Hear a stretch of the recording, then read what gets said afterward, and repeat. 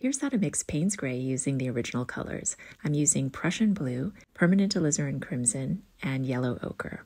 Okay, so it's not 100% accurate. The original Payne's Gray used Crimson Lake, which is a fugitive color and is known to fade, so I've replaced that with Permanent Alizarin Crimson, which is a similarly cool red. If you mix the three colors together, you can get different variations. You can shift it from lighter to darker, you can give it a more purple tint, or you can give it a more blue tint. And the more pigment you add, the darker the color will be. Payne's Gray is named after English painter William Payne, who painted and taught in the late 17 and early 1800s. I posted a video yesterday that I'll link here, and that's also in my color mixing playlist, showing my favorite way to mix Payne's Gray. And here are two strips of the manufactured Payne's Gray, which includes black compared to the one that I just mixed. What do you think?